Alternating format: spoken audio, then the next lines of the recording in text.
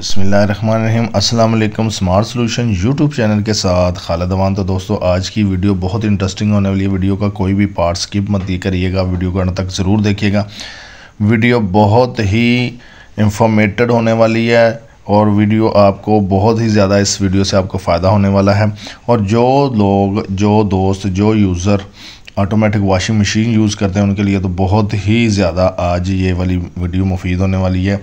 और दोस्तों ये आज हम जो वीडियो बनाने जा रहे हैं, वो ऑटोमेटिक वॉशिंग मशीन जो टॉप लोडर है, उसकी कंप्लीट सर्विस पे करने जा रहे हैं कि इसकी सर्विस हम किस तरह से कर सकते हैं। तो आप इसको घर पे भी कर सकते हो। बहुत आसान है। इस वीडियो में मैं डिटेल के साथ बताऊँगा।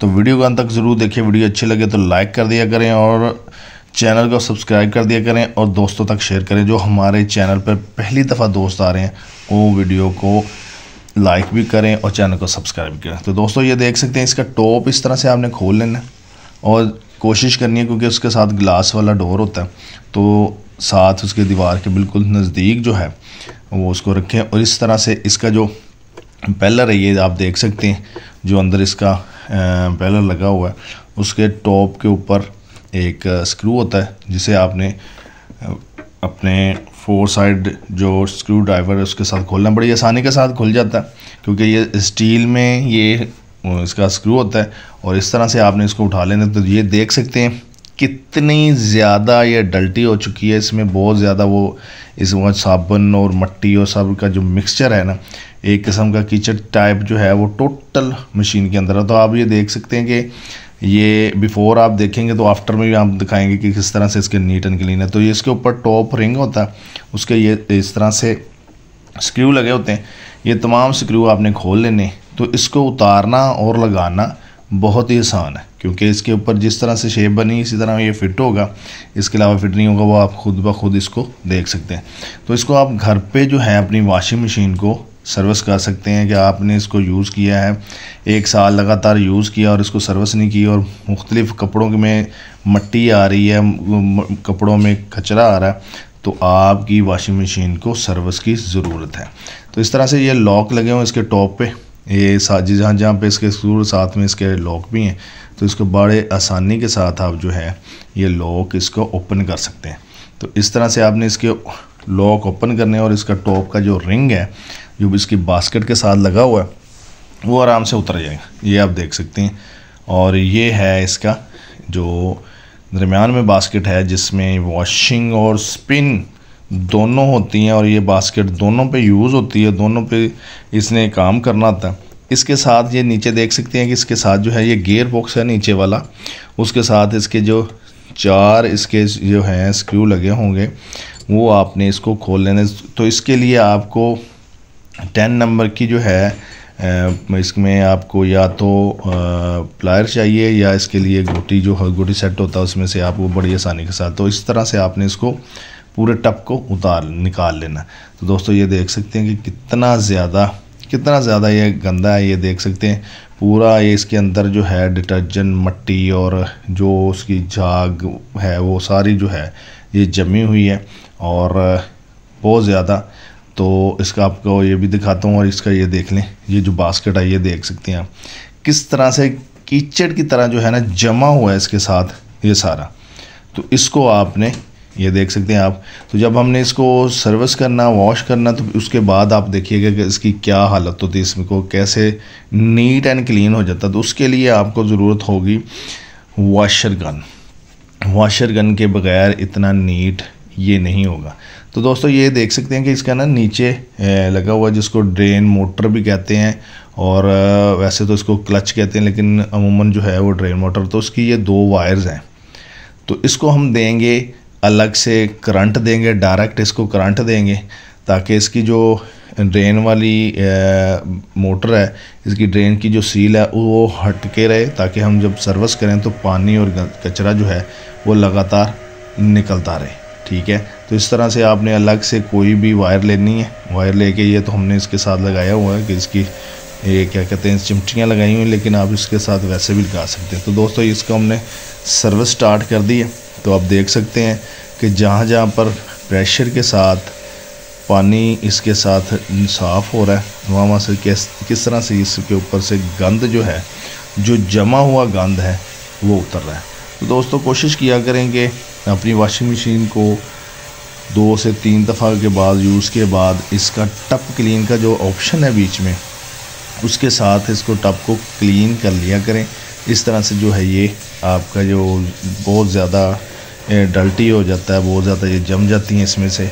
गंद वगैरह, मट्टी और जो मैल है, वो इकट्ठी होके एक कीचड़ सा बन जाता है, जिसके बाद कपड़ों में से स्मेल कपड़ों में से जो है मट्टी वो जो है वो आना शुरू हो जाती है। तो उसको आप टप क्लीन के ऑप्शन पे लगा के दो से तीन दफ़ा यूज़ करने के बाद आप कर देंगे तो इसके जो है ये आपको सर्विस करने के लिए काफ़ी टाइम गुजर सकता है। अगर आप नहीं करेंगे बाज़ उमूमन मैंने देखा है, क्योंकि हमारे पास वॉशिंग मशीन्स बहुत सारे आती हैं। अभी सीजनली चल रहा है, जिसका विंटर स्टार्ट हो गया तो मशीन और स्पिनर का जो है काम बहुत ज़्यादा। तो उमूमन क्या होता है यूज़र जो होते हैं, इसके जो फ़िल्टर लगे हुए हैं ना साइडों पे, ये आप देख सकते हैं। तो इसको भी वो साफ़ नहीं करते और इसमें से जो है बहुत ज़्यादा, इसमें से गंद और बहुत ज़्यादा जो है, इसमें कचरा जो है फंसा होता है। उसको आप रेगुलरली जो है एक वॉश के बाद उसके फ़िल्टर लाजमी साफ़ करें। तो दो, दोस्तों, हमने इसको जो है क्लच में, क्लच और तारों के दरमियान थर्मोपील का एक पीस लगा दिया ताकि ये आपस में शॉर्ट सर्किट ना हो।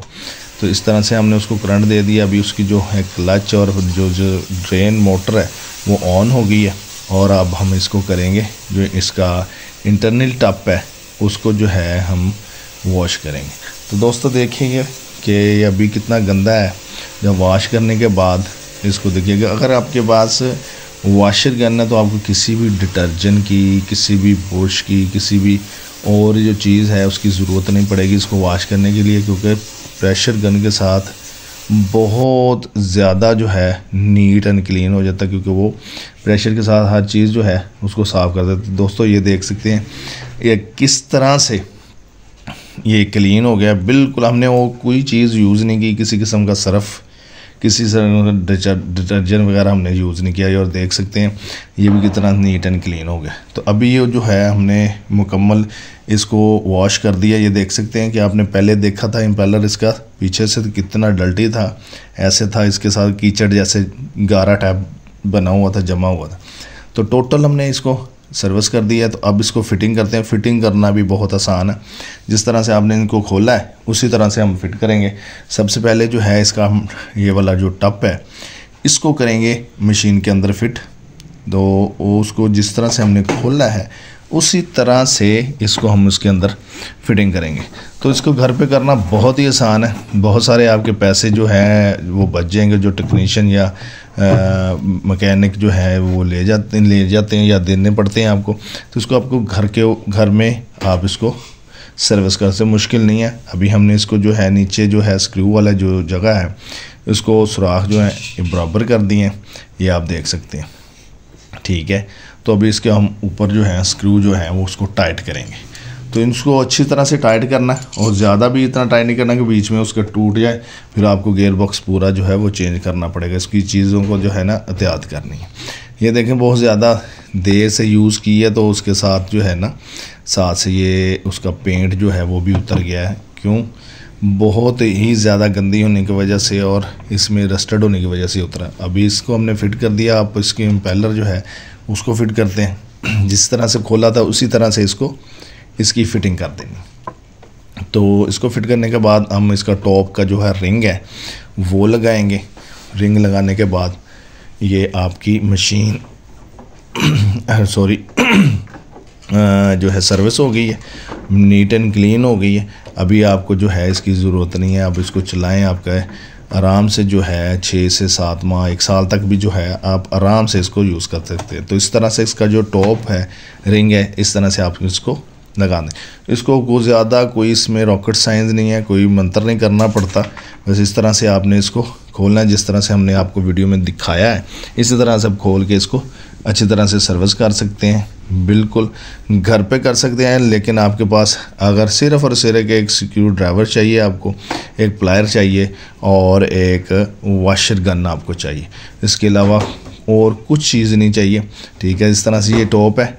टॉप के स्क्रू लगे हैं, दो पीछे लगे हुए हैं, दो जो हैं, ऊपर इसके साथ हैं लगे हुए हैं, वो आपने खोलने हैं और एक इसके साथ जो है ये पैनल के नीचे हैं, उसको आपने खोल लेना और इस तरह से टॉप को ऊपर कर देना और करके ये देख सकते हैं, ये दो स्क्रू है इसके, एक इस यहाँ पे है और एक इस साइड पे ये लगा हुआ है, इसको आपने टाइट कर देना है और दूसरे जो है ये पैनल लगाने के बाद, जब पैनल लगाएँगे तो यहाँ पे लगे हुए हैं इनको आपने टाइट कर देना। यहाँ पे इसको फिट कर दें स्क्रू ड्राइवर के साथ अपने इसको जिसके स्क्रू जो हैं वो लगा देने। इसके ये आ गया, ये कंप्लीट हो गया। पीछे दो स्क्रू हैं वो लगाने हैं, लगा के ऊपर इसके ऊपर कवर हैं, ये इसके स्क्रू स्क्रू के। और इस तरह से ये आपकी बंद कर दें और आपकी जो है, ये तैयार हो गई तो दोस्तों, ये थी आज की वीडियो। तो नेक्स्ट वीडियो तक मुझे इजाज़त देगा अपना बहुत सारा ख्याल रखिएगा। अल्लाह हाफिज़।